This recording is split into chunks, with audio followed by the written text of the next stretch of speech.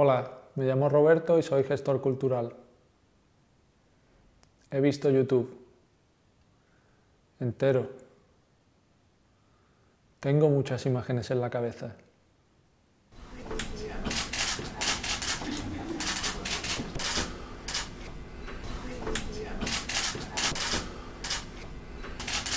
Lo siento mucho.